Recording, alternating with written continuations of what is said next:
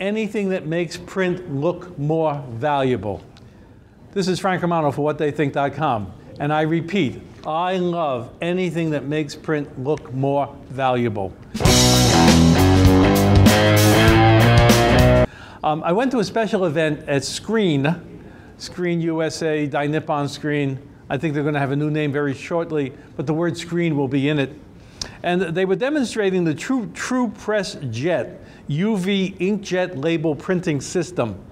And together with a Color Logic, they have come up with some unbelievably great stuff. And this is just one of them.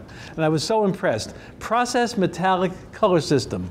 And uh, this was one of the test forms that they produced. Now, you have to be close to it to see what's happening here. It is absolutely gorgeous. I remember once visiting um, a label printing company in Montreal that had this special equipment that they, they imported from Europe um, in order to do foil stamping.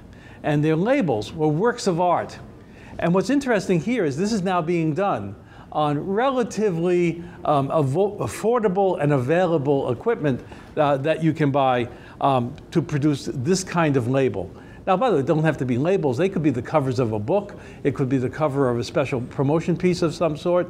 Uh, but in this particular case, they've done labels that you would find, for instance, on a, a cleaning bottle, uh, that you would find on shoe polish, uh, that you would find on some kind of a perfume. Um, uh, there's even one here that shows a, a car. Um, but this is the kind of thing that adds value to print. And, and people will pay a premium for this because it makes what you're printing stand out. It pops off the page. Now, this is one of many examples of uh, embossing, die cutting, all those new things that you can, new things, all those things that you can do traditionally and new that add value to the sheet.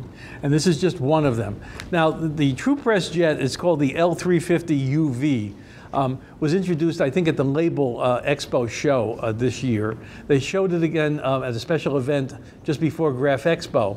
Um, and it is a, a, fantastic machine. And then you take what you've done and you bring it to another device, and it peels away the, the back part uh, as waste, and then you, you, you're left with the sheets for transferring uh, your labels onto whatever the product is.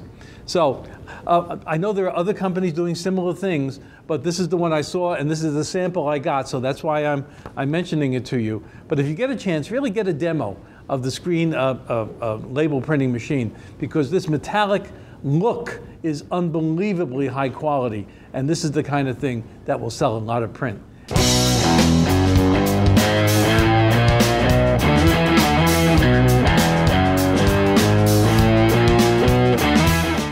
First of all, it tells you that the print buyer has changed.